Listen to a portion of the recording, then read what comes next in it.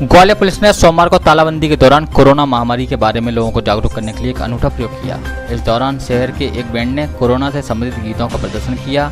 Corona helmet पहने पुलिसकर्मी band के आगे चल रहे थे। यह बैंड गुजरात पुल दौलतगंज महाराजवाड़ा सरफा बाज़ार से होते हुए वापस गुजरात पुल पर, पर समाप्त हुआ। ग्वालियर से हमारे संवाददाता सलीम खान की खबर।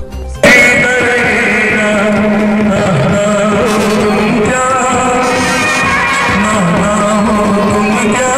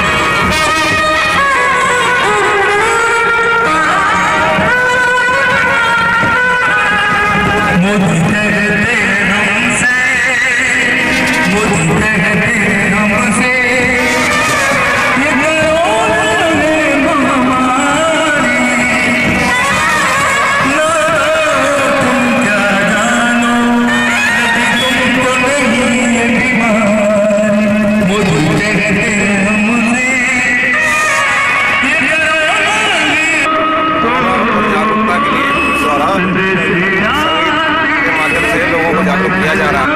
कोरोना महामारी को देखते हुए पुलिस द्वारा लोगों को संगीत के माध्यम से आम जनता को जागरूक किया जा रहा है। पुलिस हमारे जवानों का प्रयास और हमारा प्रयास ये है कि किसी भी प्रकार से अपने ग्वालियर को कोरोना से सुरक्षित रखें।